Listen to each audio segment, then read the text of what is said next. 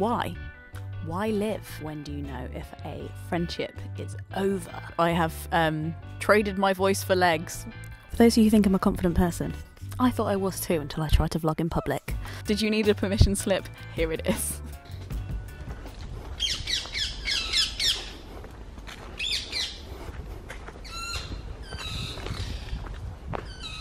Hello, I'm a familiar face, but I'm guessing this behind me isn't. So inspired that pigeon nearly took my head off. I wanted to do a Q&A this week, but I didn't want to make it about me. I wanted to make it about you.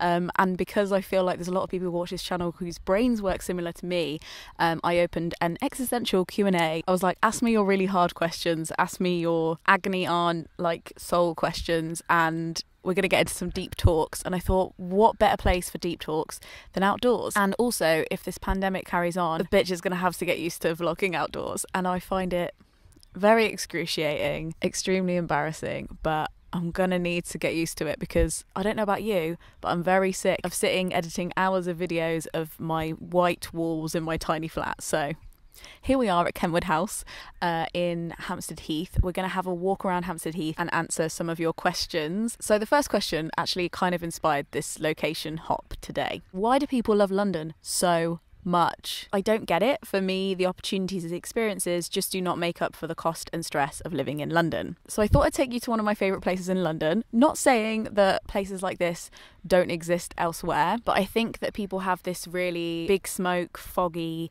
um, always crammed in, always busy like idea of London. And yeah, even this park is quite busy for a park today, but it's still this big expanse of open air and land and huge ancient forests that's right in the middle of London um, that I've been coming to all the time I've lived here, which has been like nearly eight years. And I just wanted to show you around because I think it's really cool the history and the ancient woods and stuff. It doesn't make me feel as disconnected um, from nature or from history as maybe living in a big modern city might make it seem like it would. I understand why people don't like London. In fact, I wish less people liked London so the prices would go down. And I think it really depends on where you grew up. For me, I grew up in a town. It was a really, it's the 10th biggest city in the UK, Coventry. It just didn't, like, I never felt at home in my hometown. And if you've never felt that, I understand why somewhere like London wouldn't be a pull for you. And I also think, like, being a Midlands kid, like there's there's a really big thing about Northern pride, right? And there's a thing about Scottish pride.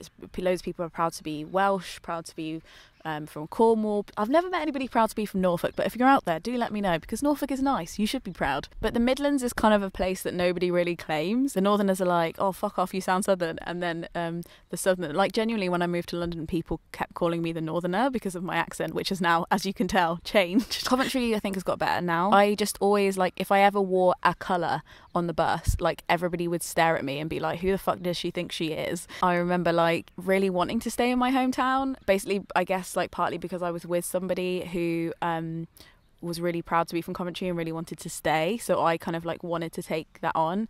And I remember like going on my gap year and like getting mentally ready to stay in Coventry forever. I found this coffee shop um, and I like asked to talk to the manager and I like begged him to let me run a poetry and music night in his um, coffee shop because there weren't any poetry. It's the 10th biggest city in the UK, right? And there were no poetry events or really any open mics that weren't like in really dangerous bars that a few of my friends had got sexually assaulted in. So I was like, I don't really go there. So I started this night and I put it on. And, you know, obviously I have some really lovely, um, su- supportive friends who came for the first couple.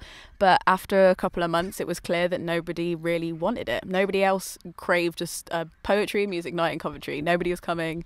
I was like putting out leaflets anywhere and nobody wanted to come. It was like one of those moments where I was like, cool. I don't judge the city of Coventry for what it has or what it doesn't have or what it wants. But I realised that me and Coventry wanted completely different things and I was never going to fit in there. And for me, London has been a place that I've really felt at home, mainly because it's not anything. And I think the kind of cool thing about London is if you don't vibe with wherever you live, come to London because nobody vibes in London and also everybody vibes here because there's just so many vibes and it's not one thing you can get on a bus and sit there for 10 minutes and be in a completely different city, a completely different community, a pretty, completely different atmosphere. That is really exciting when you're trying to find yourself in your 20s and you're trying to work out where you fit in. Uh, to be able to only live in one flat, but really effectively live in about 15 cities um, is really cool. Admittedly, it is expensive, but often I think some, things are expensive because everybody wants to, to do it, because there's a reason everybody wants to be here. I think a lot of people don't, or people resent it, but like I feel like I knew the trade off I was doing by moving to London. I knew that I would watch my friends from the Midlands uh, buy houses and have families without me. And because I'm not from London and I don't have any family that live in London and I can't stay in London, uh, the rent meant that from a financial perspective, I would stagnate a little. But because of the things I'm interested in and because of the things I'm curious about, I feel like I haven't I've done the opposite of stagnate in every other area of my life from living in London. And I'm not saying you can't do that anywhere else. You know, there is that Dick Whittington aspect to it where it's like, I'm going to London to seek my fortune. the most ironic statement ever said. Dear reader, Dick Whittington had looked at Zoopla. But especially because I wanted to work in the book industry, it's where about 90% of the industry is still. And I'd like that to be different, uh, but it's not right now. So it's more like you have to lower the expectations of the rest of your life. So, like, um, the kind of clothes you buy, the kind of food you eat, everything is probably less than a lot of my friends who lived in other cities, but like that's fine. That's what I've chosen. I have um, traded my voice for legs or something. I bloody love London, um, especially I guess because I grew up like learning about the history of it. So having all that history on top of each other and i always go on walking tours and go to museums and stuff. And if that's not something that excites you i can imagine why london isn't that interesting. And because i really love theatre as well i've been, been able to go to loads of like offbeat weird theatre. Like i used to save up and get the train here and go to like the shows that i knew i was going to like. And i knew like i knew i was going to have a good time. But um living in london means you can take a chance on like weirder shit, and that's been really cool as well. Um, let's get going, and I'm going to show you around Hampstead Heath, and hopefully you see why I love this part of London at least. Okay, so this question says Am I the only career driven, feisty female who has hit a bit of a roadblock and now feels a bit conflicted about COVID? Do I want to hustle and reach new heights? Or actually, am I perfectly fine doing my own thing, getting a decent wage, and seeing my friends, family, and going to the gym, etc.? Because balance. So, my initial reaction is to think that it is more likely if you are female identifying, you'll have a knee jerk reaction to alter your personal goals and personal fulfillment and kind of offer up your own um, fulfillment at the altar of others. So, like, my initial reaction is to ward against that. But then I also think that there is um, a really short-sighted capitalist mindset to hustling, pushing yourself up career ladders that are so precarious and, and so dissolvable. I definitely have more questions about this question which is always good. A question should always be met with another question. There's no definites in this world. So I guess I would have to ask it depends on the hustle. It depends on whether the hustle is something where you want to build yourself within an industry that you, if you're really honest with yourself, long term doesn't benefit people, or if the hustle is you getting better at a skill um, or a thing or building a thing that brings you joy and helps you cultivate good things, like it helps build stuff for other people. Is your hustle a hustle of abundance or is it something that you will only hustle individually up a ladder and only gain stuff for yourself because if the hustle is trying to get richer statistically that probably won't make you happier and yeah spending more time with your friends and family and looking after your body and focusing on small gratitudes is um don't tell the millionaires uh much more time efficient, which is what they like, which is why it's weird that they want to get so rich. Anyway, I, I think that COVID has really and this doesn't make it mean anything. That doesn't transcend it into a important event that couldn't have not happened or something that isn't sad. But i ha- i do think that a byproduct of the shit thing that is covid has helped people rearrange in their head what they think is important. I don't think that should result in people sidelining their own passions creatively or intellectually long term just because in the short term you have to focus on survival. But i do think that you can't sacrifice intellectually transcending. Again i think the problem is like with a hustle. Do you mean like a career hustle where you do intrinsically get better at something and therefore it's kind of a skill pursuit or an intellectual pursuit or a creative pursuit? Or if it's something where you are just becoming more senior to other people um, and not getting to hone your own skills? Because and this is not what you asked this is a complete side note of mine. Aside from all of the like systemic ecological, psychological damage that big business does, it also just makes all jobs less fulfilling. Um, and one of the things about big companies that I find really frustrating is that the people that benefit the most from them are the people who aren't actually doing any of the work, they're just managing the work. and that can sometimes be a thing of the imagination, um, the over management of a skill takes away how satisfying a skill based job is if you're not allowed to manage your own workload and strategize about how effectively you can do your job. Uh, and if that's outsourced to somebody above you, that can make the job way less fulfilling and interesting and stimulating. And it also means that if you're good at something but you want to get paid more for it, a hustle, if you will, often doing that within a company is kind of impossible because to be paid more, you can't just get better at your job. You have to stop doing your job and manage other people doing their job. If that makes sense, which it doesn't make any sense, but if what I'm saying makes sense rather than being followed through on, because that doesn't make any goddamn sense so in summary yeah you should totally spend more time with your family and friends um, and look after smaller things in your life as well. And I think that it can be a call to arms for uh, a more balanced life. But I don't necessarily think that means that you should stop pushing yourself or like enjoying something that is privately yours. You might want to redirect it if you think that maybe you're using your skill in a way that doesn't align with your values, but that doesn't mean that you stop jiving to your own salsa. wiggling to your own beat. This question made me think a lot. Thank you so much. Okay, let's go somewhere else. Good job I'm wearing Lady Danger.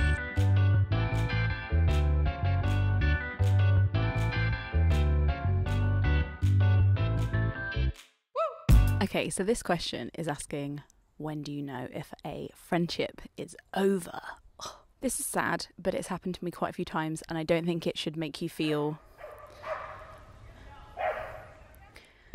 Excuse me for the dogs. I've seen so many dogs today. This is Dog Central. Dog Central.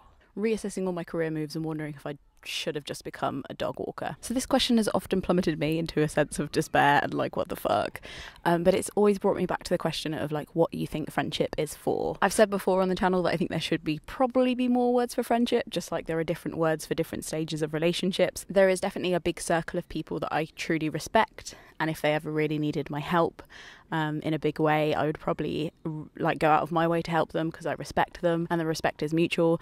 And I think what they're doing with their life is cool, and I want to help them survive and better themselves, not only because I care about them as a person, but also because who they are slots in with the way I'd like the world to be, which I don't think is a selfish reason, but I think sometimes you know that somebody who you're not that close to or you can't be that close to is still um, pushing the world in the same direction as you, and that makes you want to help them. So I have a huge like wheel of people like that, but they're not people that I would put up with.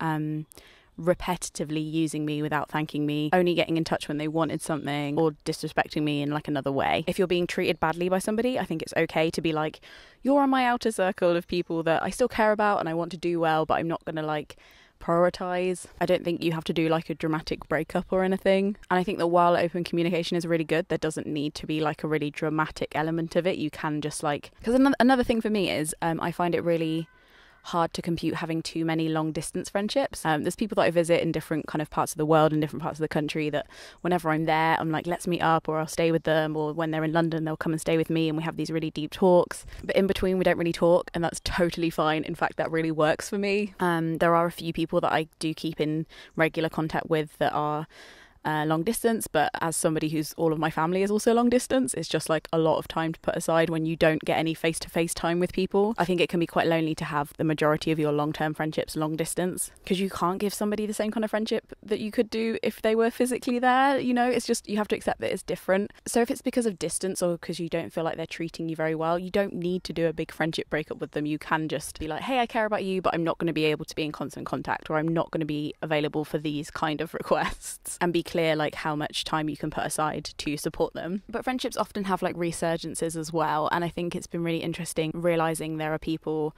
who I haven't talked to in ages that I really missed during the pandemic. Like I really missed them, um, or I really worried about them and hoped they were okay. I had a really great like maybe like hour or two conversation with a friend from uni who used to be one of my best friends, and we don't really talk anymore because we're both just really busy. But when there was a pandemic on and everything felt like the world was crumbling, I was like, I want to talk to John. and we had like a really great, really long conversation. And I really value friendships like that that are just like you're never not connected to that person, uh, but you're also not like in each other's pockets. But I knew that if I lived near him, then we pop round to each all the time and have tea. And this is a really long answer.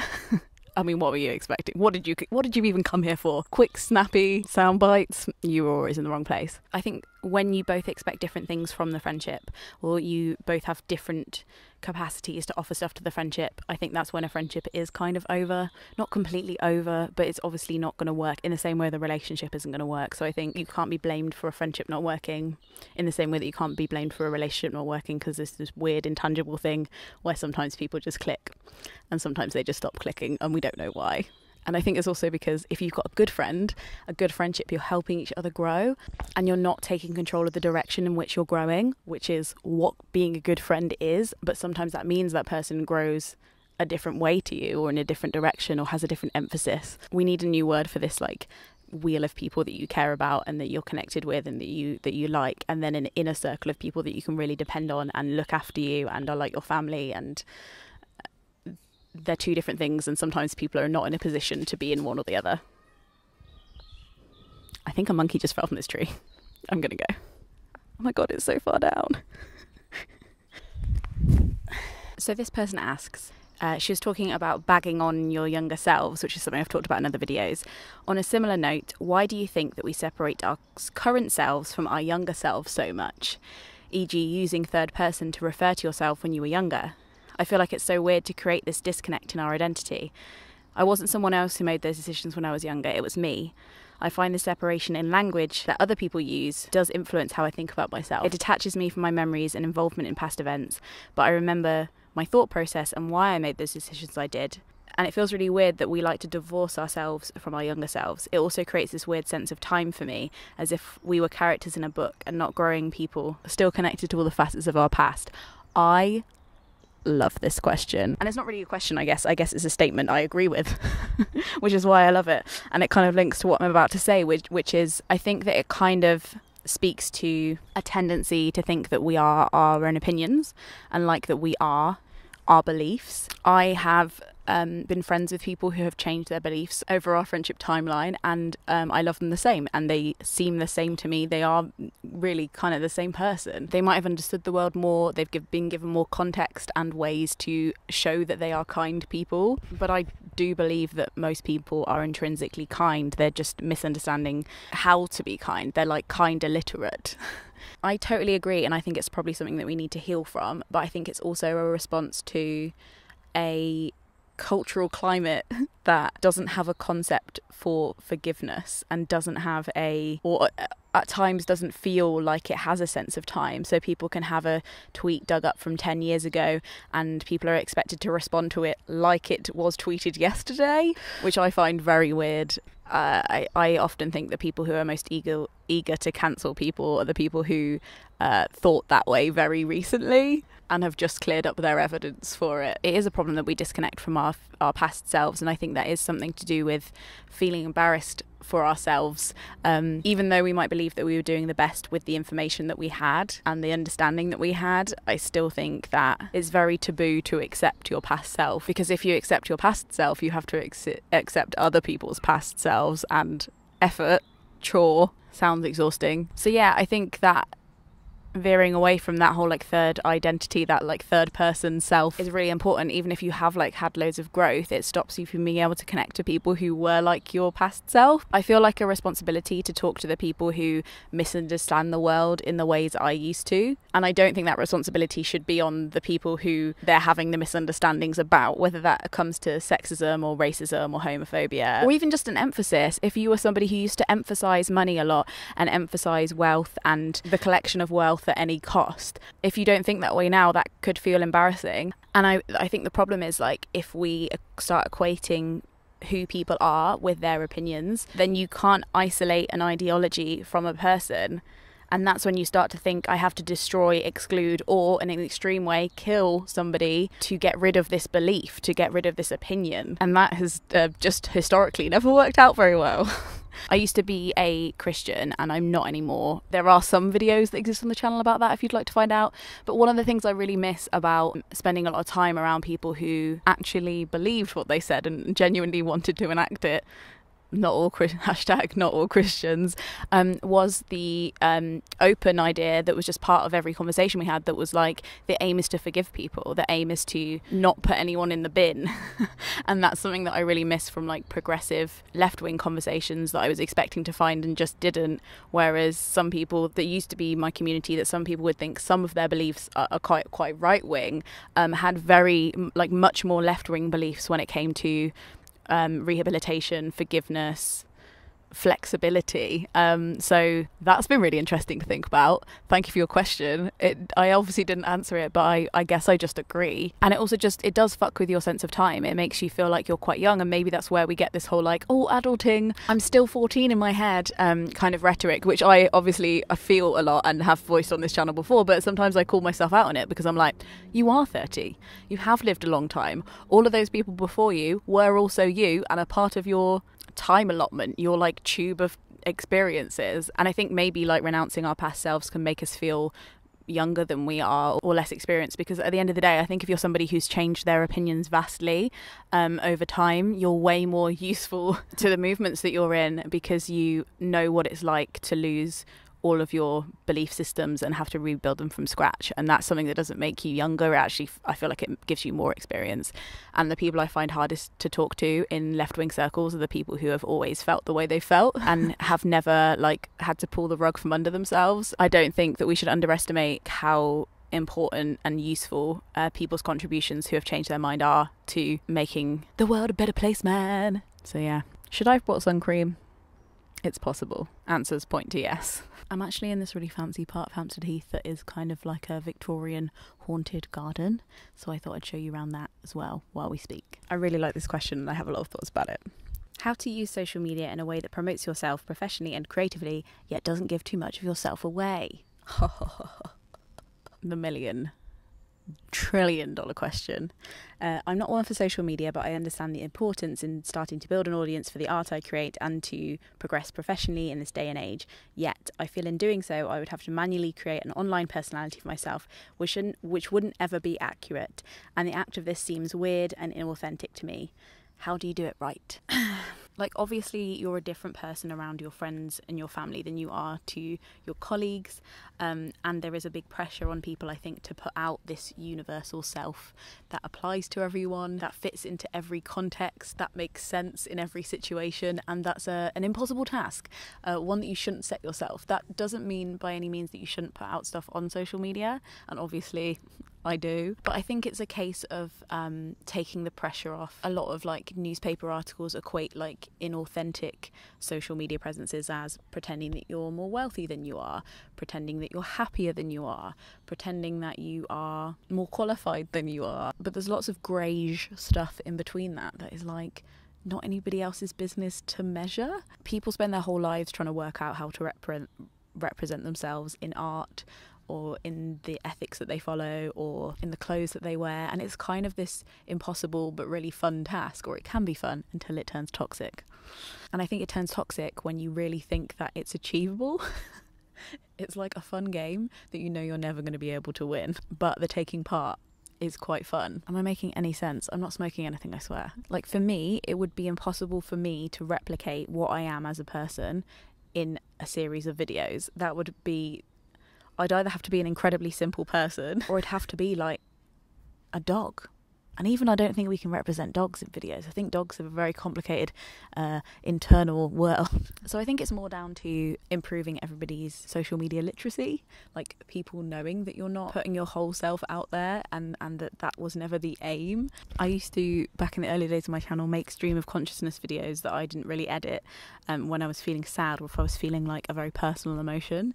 Um, and I don't regret that, but now I I don't hide those parts of myself, but I experience them in real time alone or with people that I know, and then I usually use them to inform something much more curated and useful. Like I don't I don't think all of my thoughts, my stream of consciousness thoughts are going to be useful to you. I don't want to put you through that. I think we've all got limited amounts of time. So I think it's okay to edit yourself, uh, not only because authenticity is is kind of impossible but also so that you're only putting out what you really mean like parts of yourself that you genuinely think will help others and in a way that you think will help others. Just like you don't know your favorite musician because you've listened to all their albums it's the same with social media and it's okay to still make an album you know? It's still it's still okay to to make a thing and people shouldn't expect it to be everything that you are. It can just be a fun experiment, a finger painting, a rough draft of you, and that's fine. Okay, I'm not going to lie, I was really hoping to film something fancy in the stone space, but I've counted four wedding shoots, um, two games of hide and seek, and one very serious debate about drum and bass between about four boy teenagers. so I think it was a bit full, which is fine. I need to get up earlier. I thought I'd sit by these jungle like ferns that honestly looks like a panther might jump out with me.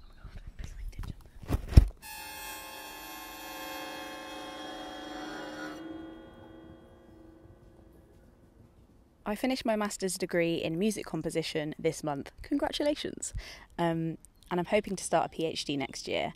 A lot of people experience low motivation at this time, but I find myself affected by a specific event that I keep thinking back to. Earlier in the year, I don't remember exactly when, the Singapore Sunday Times published a survey of the public that got global attention. It said that artists are the least essential workers in society. Although there was a lot of backlash against the survey, I can't help feeling that continuing in my current career path will lead to me being considered unnecessary and irrelevant in society, especially because I am working in a field that the majority of the public either don't like or don't engage with contemporary classical music.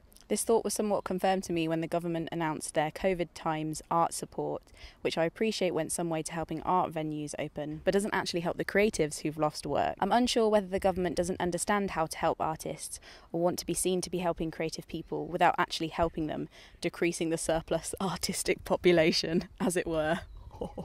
but perhaps that's just me being overly cynical. What do you think? Am I necessary and relevant? dude.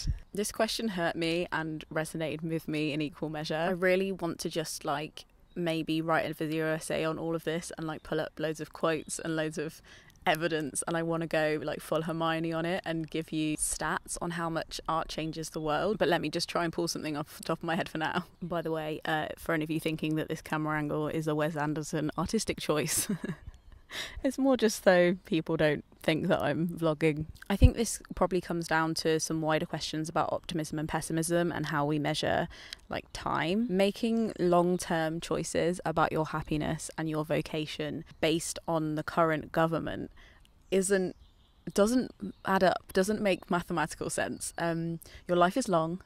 Governments are in power for four years max. I'm going to get some people who disagree with me in the comments here, but um, the world is getting better don't at me until I've had time to make the video essay on that. But like, I would like to refer you to this book if you can't be bothered to wait for me to make that video essay. But I think that having an optimistic, long sighted view of how your passions will fit into the world is vital. And I also think that uh, for me, my own self esteem and my own self like how I see myself um, would be lower if I just dropped my um, artistic practices um, because of who around me valued it. However, there is a pragmatic side to that. How do you make money? How do you survive? How do you thrive? How do you make sure that you are feeding the people around you? But I think, um, I don't know about you, but like for me, and I think for a lot of people who are arty, which is a self deprecating way of saying artist.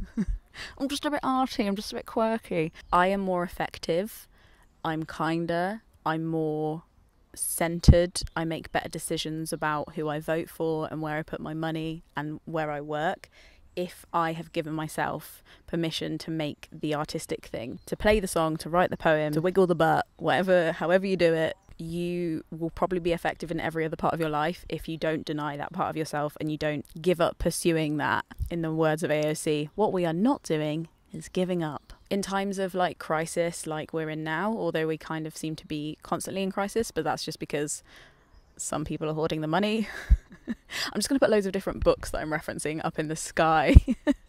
um, so that if you're bored, you can work out more about it. It's understandable that people who look after physical bodies and logistics um, are honoured higher, but also are they even honoured higher because they don't even pay NHS staff properly? Um, so I think if it's if it's to do with mon- monetary worth, I think that there are lots of industries that aren't valued properly, and uh, the arts is one of the, the many ones. So I think that the government has also turned its back on the more practical, valuable side of, of the workforce as well. Um, so I don't think you need to feel bad about your your practice being unpragmatic if you're thinking about being supported financially because uh, there's no guarantee of that anyway. Art answers a different question to a lot of other professions. A lot of other professions answer the question how? How do we live? How do we move through the world? So, whether that's like somebody who works in insurance to insure your life. Oh, that's how you protect yourself against physical, scary things. Somebody who's an architect that's how you build a house and then live in it. An estate agent, how you find a house to live in. A lawyer, how do you protect your physical assets? Or a chef, how do you keep living? Or you eat. Here's some food.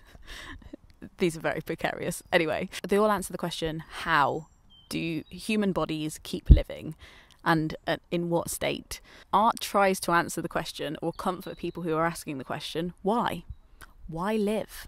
Why, ca- why, why do this weird thing that we have found ourselves automatically doing. We have the instinct to breathe, we have the muscle memory to blink, but we're the only species that goes, but why? And I don't know if you've noticed, but they're both equally important questions. I can understand why some of those more pragmatic options um, do make more sense to people in their heads but you also you can call on anybody at any kind of party and ask them um, in your darkest moment in when everything physical fell through for you, how did you keep going? And they will name an artist. They will name a writer or a poet or a musician or a piece of work somehow, and they will be able to map that onto their lives as a moment when they were like, I had the how, but I didn't have the why. And I think like stuff like contemporary classical music is something that is intangible and is like quite not explicit. It's not like a poem that's like, why you should keep living a poem by Leena Norms. Uh, and that's why it can be sometimes more effective for people because it's so transient. It's so, um, you can't like touch it or really explain it. And it's often stuff that is expressed where words fail. And it's the nuance of music that I think is what makes it powerful. I was also um, being served Ariana Grande uh, interviews on YouTube recently, and when I say being served, I mean actively searching for. Obviously, Ariana Grande, who's somebody who is a very well funded artist. Um, she can probably just go to her Instagram inbox and see how much she's valued. People scream at her when she starts singing her art. I would imagine that the evidence that her art means something to people isn't few and far between. However, the interviewer was asking her if, like, if it was weird when people cried and screamed and um, stuff when they met her and she said well yeah some people do do that but i completely understand and i'm somebody who does that too. And she told this story about how imogen heap who's one of my favorite artists invited her to her house for dinner when she came to London, and Ariana Grande genuinely thought it was a joke because she looks up to Imogen Heap so much, and she says that she's influenced all all the work that she's done in her whole career. That she didn't feel worthy to be invited round to her house for some dinner. She thought it was a prank up until the point when she got to the front door, and then apparently when she met her, she just cried and then didn't really say anything the whole evening when she was around Imogen's because she was just like, "What the fuck." And that was really interesting to me because one of the last gigs I went to was an Imogen Heap gig in London in the Roundhouse, and there was fucking no one there. And I, she's one of my favourite artists ever. And me and my friend Sarah went, and it was such a wonderful night. But I was just looking at all the empty space. Obviously, this was before COVID, all the empty space, and being like, where is everyone? Like, I'm not somebody who likes to like niche people. I, I would love more people to understand how great Imogen Heap is. But it also reminded me of one of my other favourite bands that I've loved since I was about like 15 called Nizlopi, um, who took a very young teenage boy uh, as in in as an intern and let and taught him everything they knew. Quote. um, and that teenage boy was was Ed Sheeran.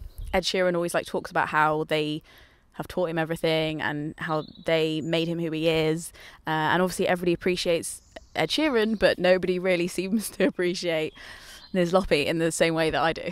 the point is, you putting your work out there um, is a butterfly effect kind of affair. You might not see what value it gains and um, what dominoes it pushes forward by doing it. And it might not be the most popular genre, um, but there are lots of side genres like what Imogen Heap does, like what Nizlopi do, like what Seth Lakeman does. More experimental work that may not influence the masses, whatever that means. We could have packed that in a whole thing as well.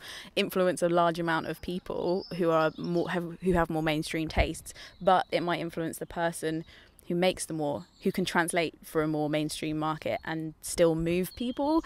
And that doesn't and that's why I don't really like I get really uncomfortable with like individual praise and genius and like holding artists up like they have invented things because it's often like a collective effort for every artist that gets famous. There's like 10 worse paid, precarious incomed, cyclical career, not like always going up kind of artists uh, that are behind that artist who either like directly taught them or inspired them. And it's the same, I do feel like that about my job. I'm like, what the fuck am I doing? Like, I make videos on the internet with all of my imposter syndrome and all of my things that's like, oh, what is this? Does it even make any sense? What is it? Does it even make a difference? Is it even, is it just really vacuous and stupid? But I know that I have like an ev- evidence in my inbox to say that it does help people, and I know from experience that that sometimes even the most frivolous, vapid things can mean a lot to some people, and I'm assuming. Um, person that sent me this request question that your work is not vapid and is not without meaning um, and just because we are currently under a government that doesn't get that, I feel like completely stopping making the art would, would mean that they won and we can't have that, can we? There is a really useful book called Big Magic that's all about the balance between vocation and job and like how it's okay for those to be completely different things. So I understand like on a logistical level why at the moment it might not be great to set yourself up to be a full-time classical music artist just by looking at the facts and what's around but i don't think that means that you should just like switch gear into reverse and back out of um, a really beautiful industry and a really beautiful um, way that humans communicate and make sense of the world because uh, from what I've seen on the IPPC report, IPCC, ICP, mm, you know what I mean. The acronym isn't the key bit, is it? Um, we're going to need people to remind us why we're here and to give us intangible answers that don't have words and calm us and inspire us and um, accompany us in this absolutely stark raving bonkers time. So I, I deem you an essential worker. Did you need a permission slip? Here it is. I just saw the man with the biggest parrot on his shoulder. It was literally the size of a dog. I feel like filming outside is like becoming a wild hunter. You have to be aware of all the footsteps around you. RBG makes me feel like I should be out there fighting the good fight for my community, but a lot more of me wants to move into the woods and live by myself and never look at the news ever again. This isn't a question, I suppose, just a conundrum. Whenever stuff has been hard for me in my life, I think about buying a one bed by the sea in Aberystwyth and pretending it's all not there. And then I think if it's climate change I'm running from, seaside towns aren't it. I think it's kind of like a um, a knee jerk reaction to think I'm actually just going to go and make things simple and live in a tent again. and it's a valid fantasy to indulge in. And I think actually sometimes practically it's quite it can be quite good for some people. Can I recommend the YouTube channel Mossy Bottom? It's literally a man converting an old shepherd's hut and learning to live off the land with his dog, and it is the most wholesome thing and not something that I would rule out in the future. However, I'm well aware that it wouldn't solve everything, and if you can find a wood that's floating in the universe and has its own sun and moon and atmosphere, drop me the postcode, I will 100% meet you there. However, I think there is something to be said in this metaphor activism and getting stuck in and doing everything you can to change things and just wanting to hide. Cute irony of me hiding from people who are coming. For those of you who think I'm a confident person, I thought I was too until I tried to vlog in public. I think mentally opting out of some stuff has really kept me sane. so I think a lot of people live with a more secure idea of the future and letting go of the pressure to feel that has been really good for me. And I think that's my version of going into the woods, like metaphorically, when it comes to picturing the future. Um, so I think like mentally building yourself a hut in the woods to retreat into, uh, where you agree on what reality is and you keep your beliefs and worries and like simple truths in there, that would be great. But I also agree we're going to need some more notorious RBGs in this world. And uh, she doesn't strike me as somebody who let other people immerse her into their worlds or took home existential worry and she still achieved a lot so i think as well like we've got this idea of activists who are people who are always on always throwing themselves into their work never have any hobbies never delight in the small things or retreat into huts and I would just wager that is probably not the case. So it can be intimidating to look at people who have changed so much in the course of a lifetime. But I imagine when you're in that lifetime and you're like not looking over it from a bird's eye view and you're actually living it, it doesn't really feel like much is changing and it doesn't really feel like you're extraordinary or you're doing that much. Thank you so much for watching this very strange video. This video is free to watch, but it's free to watch because a very small percentage of lovely people tip me per video to make them happen. It's as little as a dollar per thing. I post four to five things per month, but you can cap it. So if you only want to pay me $1 for one thing a month, then that's totally fine and you will still be an equal member of the Gumption Club. We have a secret Facebook group. We're always having existential crises, like always, every day there is somebody with an existential crisis post and then we all like brainstorm it. It's really fun. We have Wholesome Film Club where we watch films together and chat. Um, so if you want to meet like-minded, shrewd and spirited people, um, then I'll leave the link below to that. A lot of you asked me about eco anxiety, and I am making a whole video on that, so I'm going to leave it for now. Uh, but I just really want to drop this book recommendation in your heart if you're just feeling like maybe humanity should probably be put in the bin. Thank you so much for watching. Uh, Frog Snog out.